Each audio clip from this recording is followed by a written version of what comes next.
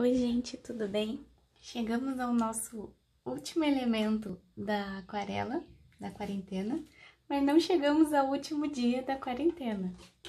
Então, eu vou lançar outra listinha pra gente fazer, mas eu vou terminar aqui. Eu desenhei, dessa vez, um sapato, que é um sapato que eu adoro. Eu uso ele bastante, assim. É uma sapatilha, parece um uma sapatilha de bailarina. E é super confortável. E o, e o meu é bem rosinha, assim, tem várias cores, mas a minha é bem rosinha. E eu gosto demais dela. Ela, ela para quem é vegano, ela, essa aqui não é de, de couro. É uma marca que faz sapatos de couro, mas esse aqui não é. Aí eles mesmos colocam no site, que é, é vegana essa, esse modelo. E eu tô fazendo ela, que é, é uma sapatilha que eu uso muito. Eu tenho duas da mesma loja e estão quase andando, quase não, já estão andando sozinhas, assim, de tanto que eu uso.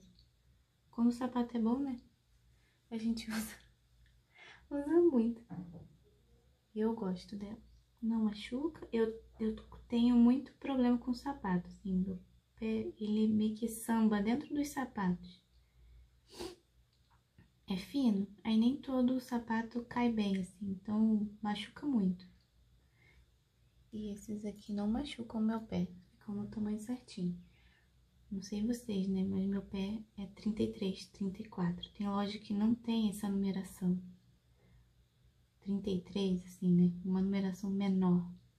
Então, às vezes, o 34 da loja é um pouquinho maior, aí fica folgado no meu pé. Tudo eu tenho que usar com meia. O sapato com meia. Se eu quiser, se não, não couber direito. Tênis eu tenho que botar com meia, porque senão fica muito folgado no meu pé. Aí tem hora que não fica nada estiloso, mas não tem jeito. Ou machuca, ou fica assim. Bom, vocês podem me sugerir também, se vocês querem alguma coisa que entre na lista que eu não votei.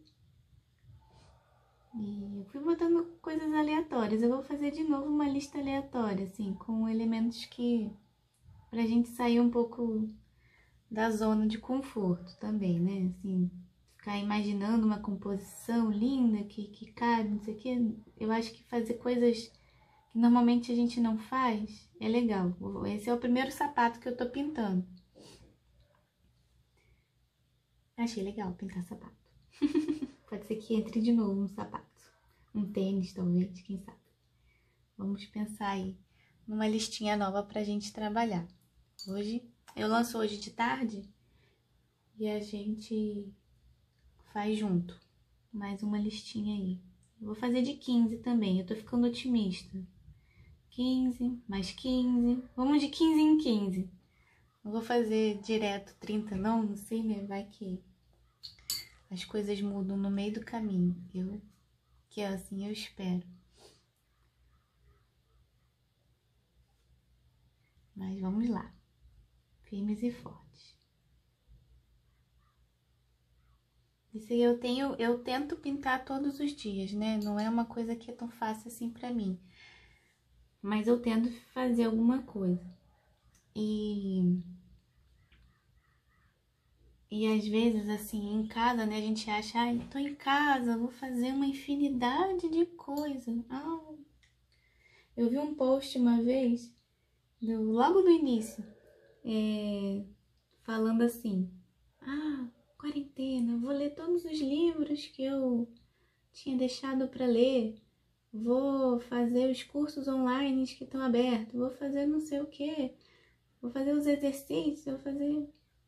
Ai, gente, tem que escolher o que, que a gente quer fazer.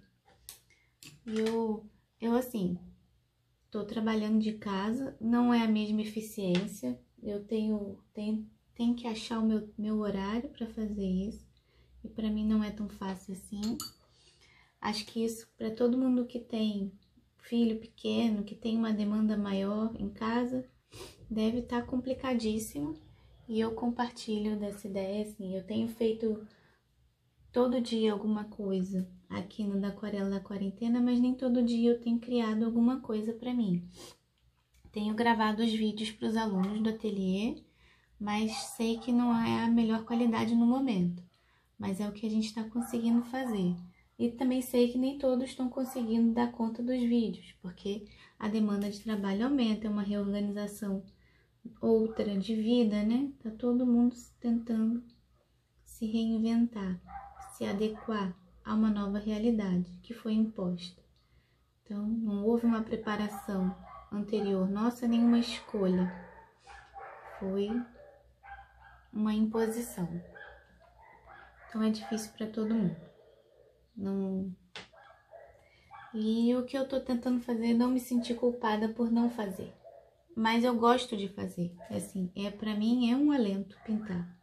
É um movimento que eu faço com prazer. Então deixar de fazer isso, às vezes para mim gera um estresse, me gera uma frustração, porque eu gostaria de estar fazendo e não estou. Mas também tem que, que ser carinhosa comigo e falar: bom, hoje não deu, hoje demorei mais no almoço, hoje tive que limpar a casa, hoje a Júlia não estava deixando, hoje tem que dar atenção às outras pessoas que estão aqui, hoje o marido está abandonado, não tem jeito. Vai acabar acontecendo alguma coisa desse tipo e eu não vou conseguir fazer além do que eu devo fazer. Mas estou tentando me organizar, achar o meu tempo dentro desse movimento.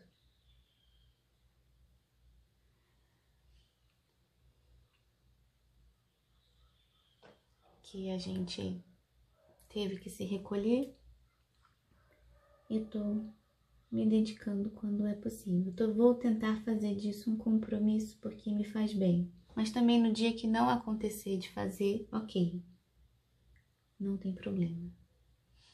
No outro dia eu recupero o que não foi produzido, trabalhado, enfim. Também não posso me culpar. Senão, a gente, o que era para ser prazeroso passa a não ser mais. Então isso também não adianta. Por mais que eu sei que tem pessoas que não, não têm essa possibilidade, nem sempre o trabalho é prazeroso. Eu, no meu caso, me sinto uma privilegiada, porque o meu trabalho é prazeroso para mim. Então eu uso ele também terapeuticamente nesse momento. Então eu acho que isso é por mais que eu tenha que lidar com as consequências de ficar em casa. Porque a gente tem toda a vida de outras problemáticas para dar conta, né? Mas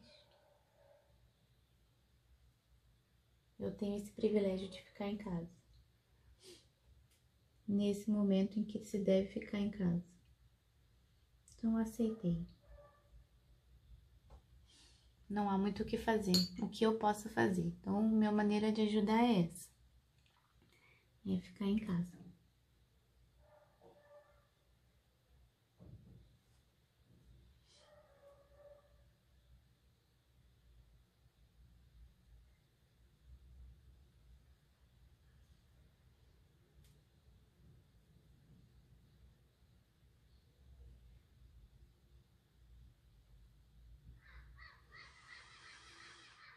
Gostei do sapatinho.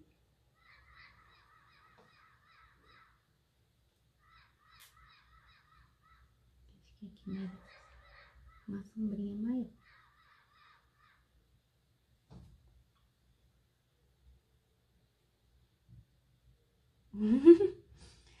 Pronto.